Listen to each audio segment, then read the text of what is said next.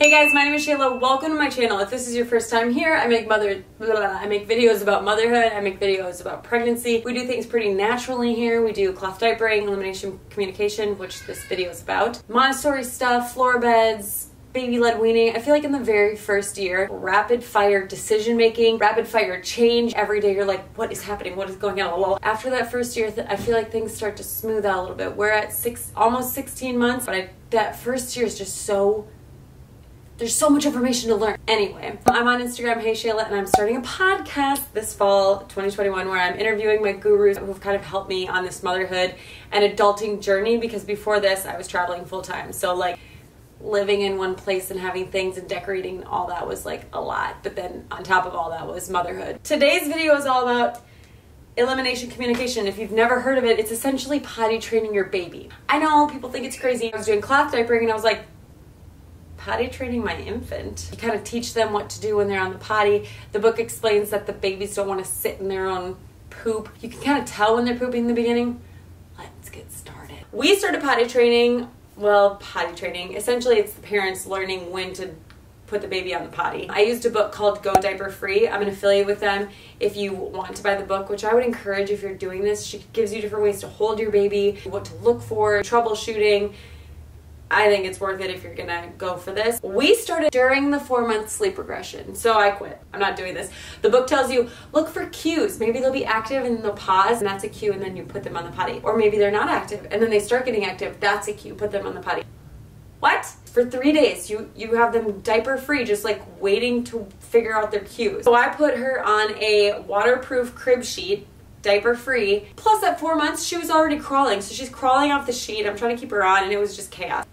I'm done. For two months, we didn't do it. Then at six months, Seth was like, maybe we should try the, the potty training again. And I was like, okay. But this time we went with transitions. So the book also explains you can try for transition. So when they first wake up in the morning, after a nap, after they're in their high chair, car seat, stroller, things where they're sitting and they don't want to like pee or poop, then they get out, then you put them on the potty. That's what we started doing, and that's what started working. All of a sudden, she was like going potty. Not all the time. In fact, we might catch like two or three a day out of her seven. To me, that was a success. You are feeling comfortable in the potty, and you're learning what the potty means, what it means to do. Maybe you're not doing it all the time, but I'm gonna count this as a success. So that's kind of how we looked at it. So things that you're gonna need.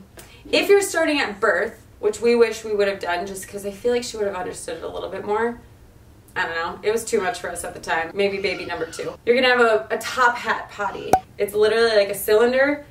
It's a top hat upside down. So you set them on it and then you literally just hold them because they can't hold themselves up. When I was trying to figure out her cues, when I would breastfeed her, I would put her on the potty and she would go. I was like, what is this? I don't even know how to figure this out. The top hat potty is when they're really young. Then this is from Tiny Undies website. This is great. Set them on it so their feet can still hit the ground. You've got this guard for boys or girls so that whatever. I like that it's one piece. So I would just bring it into the bathroom, dump it out, and then I had these disinfectant wipes. Later, probably around 12 months, we started using this. This was my nephew's, and it's also the cheapest one on Amazon. I think it's like $14 or $15. All of them are like 30 but this won't hold her up. I think the other ones kind of help hold them up. This was a game changer because now I didn't have to rinse anything out of the here. She would just go in, in the toilet, I'd flush it, we'd be done. Amazing. A couple other things you might want are these tiny trainers. They're so adorable, but you can see they've got a little bit of padding here so it gets wet and it's not waterproof, but it's a good way if you're trying to figure out their cues or once you start potty training, you can see when they're wet and then you're like, okay, let's go change you. I recommend the purple or the green because you can see when they're wet. And then I have these also reusable wipes because we use cloth diapering. So this is really good just when they're wet. Yeah, I think that's all you need need for it. And then the book. She also has a children's book. That's kind of nice too because then you get to read that to them and they get to understand it a little more. Like I said, we do cloth diapering and elimination communication. I think the combination is perfect. If you go on my website, Hey Shayla, you'll find blogs and videos about it. Because she feels the wetness, I think she's really gonna be out of it sooner. When she's in disposable diapers, it wicks away the water so well, the moisture, the liquid, the pee so well, it doesn't bother her. So when she's in the cloth diaper, I feel like she knows she's wet and we get her changed. I just think that that combo is something that the book suggests is not to say, oh, good job, oh, bad job. You don't want to like tell them that they're doing good or bad. They're just doing they're just going potty. And it's not really them that's getting potty trained. It's you. So if they potty in their diaper it's because you didn't give them the opportunity to pee. So instead we always say did you do it? Did you do it? And that lets them kind of like internalize it. Yeah i did it. I did it. When she's sitting on the potty i give her like a pool toy, a pool toy, a bath toy. I'll just grab it from the bath and she can like play with it or I'll put it on my head, make it a chill time where I'm not like waiting for her to pee. Not try to make it like the most fun time, but just try to make it that there's no stress, no pressure. She's on the potty, we go potty. It's supposed to be like this, like a T, but she just goes potty. And then I just learned that poop is like this. I do it to her, but I think it's just one of those things that you do and then maybe they do this or this and then you figure it out. So now when she gets on the potty, she goes potty and she knows it's potty time. She knows what to do when she's on the potty, but she doesn't tell me when she has to potty yet. Again, I think that's a win. Some people say that their kids were potty trained by the time they were walking. Not mine. I just give her opportunities to pee or go to the bathroom. She does it and then she's done. And if she doesn't do it, fine. I put the diaper on and we're done. It's there's no stress. It's just like this is what we do. Mommy's going potty.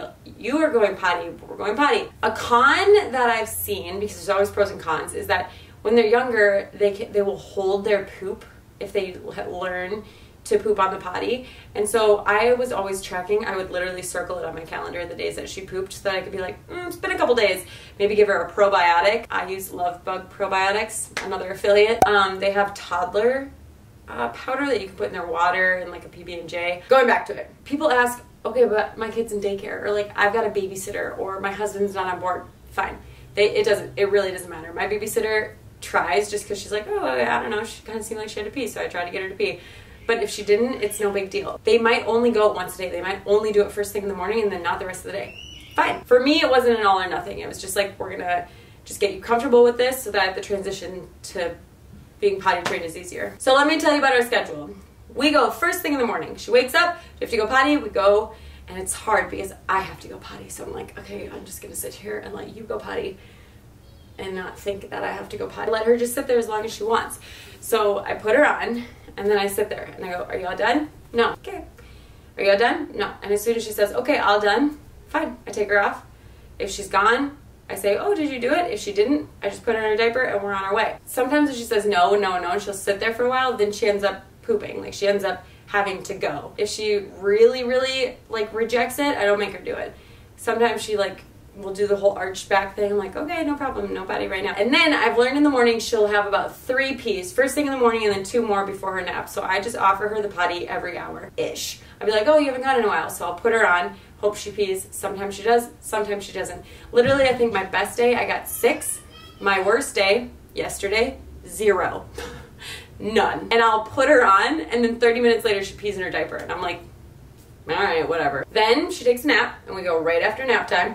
And then whatever activity we have in the afternoon, we just do it after the transition time. So after she eats, after we run an errand, after we go for a walk in the park. And I just try and get it. And if I get it, cool. If I don't, I don't. If I don't catch the pees, I can usually catch the poops. Her nose gets red, she grunts down, maybe she'll fart. I'm like, do you have to go potty? And normally when I ask her that and she's doing all those things, she'll go, yeah, and she'll run into the bathroom. So just catching the poops, honestly, is like great for me because then I don't have to clean the cloth diaper. I don't do it at night. I was always like, um, no, my baby's sleeping. There's no way I'm going to take them out into the bathroom or like have this potty in their room. No. When I say we cloth diaper, we do 80 20. So at night, I do do disposables. So we cloth diaper during the day elimination communication during the day, disposables at night. And she goes through phases. The mornings, I would say we catch 90, 95% of the time. The past two mornings, we missed. All day yesterday, nothing. Today, nothing. And it's just, she'll like refuse it and then she'll get back in the hang of it. And that's how it's been the whole year. It's just been ups and downs. She does well, or I do well, I catch more, I catch less, I catch more, I catch less, and we're just gonna keep plugging away. I'm super curious to see. I'll make another video when we actually potty train or when she actually becomes potty trained and kind of how that transition goes. But a lot of people tell me that their kid refuses to sit on the toilet. And if it's the first time, probably super scary. So that's why I like that she's just getting comfortable on there. That's how the first year's been. If you want more information on cloth diapering or elimination communication, head over to my website, heyshayla.com, and you can find all of those things there or on my YouTube channel. They're all here. Thank you so much for watching. Bye.